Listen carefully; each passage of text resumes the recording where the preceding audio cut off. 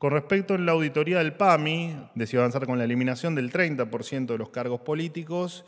Esta modificación significa eh, una reducción del 75% de las secretarías y direcciones ejecutivas, un 33% de las gerencias y un 20% de las subgerencias. Todo esto ha quedado eliminado y en términos presupuestarios representa aproximadamente un cuarto del presupuesto que se destina a los gastos de, a los gastos de eh, estructura.